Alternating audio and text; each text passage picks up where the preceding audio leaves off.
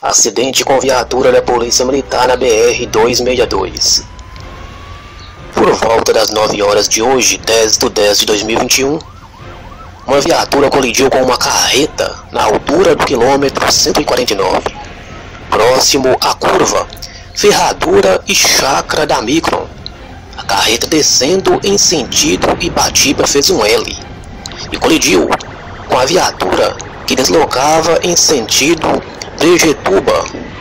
Os policiais Cabo Kennedy, Cabo Trindade, Soldado Henrique Souza e Soldado João Antônio foram socorridos para o PA de Ibatiba.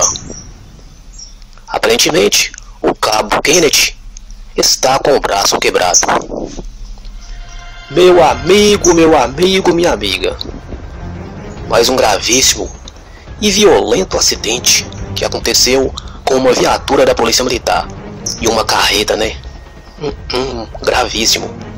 Com certeza, a viatura estava na velocidade certinha permitida, né?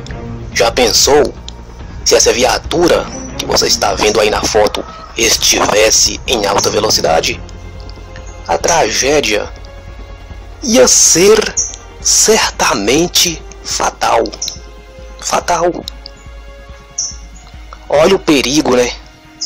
A carreta descendo uma curva fez um L.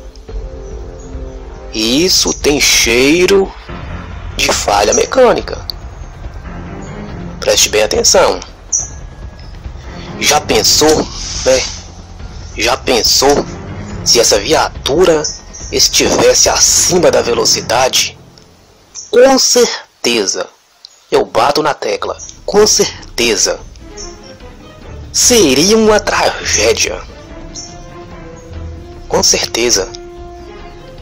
Essa viatura entraria, se ela estivesse em alta velocidade, ela entraria debaixo dessa carreta e o acidente seria fatal. Graças a Deus, o prejuízo foi só bens materiais, né? E essa curva, né? Preste bem atenção nessa curva. Essa curva é muito perigosa. Todo cuidado é pouco. Um descuido pode ser fatal.